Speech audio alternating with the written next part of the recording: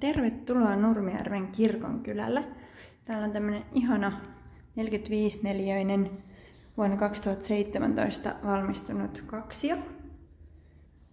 Tässä ihan kirkonkylän keskustan palveluiden äärellä.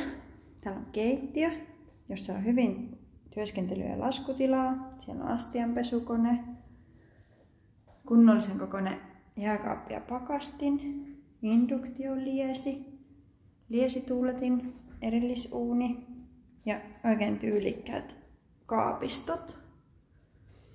Sitten täällä on tämä olohuone.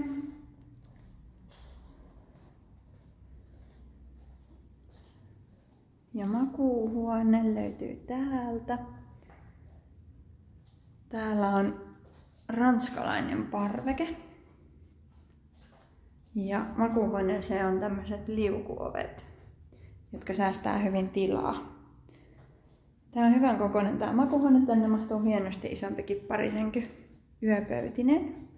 Sitten tää on todella iso vaatehuone. Tähän mahtuu tavaraa vaikka kuinka paljon. Ja tästä pääsee tänne kylpyhuoneeseen. Täältä löytyy pesukoneelle paikka ja liitännät.